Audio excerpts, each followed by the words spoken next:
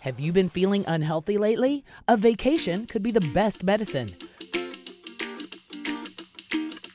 Researchers say what many have long believed to be true some time away may actually reduce stress.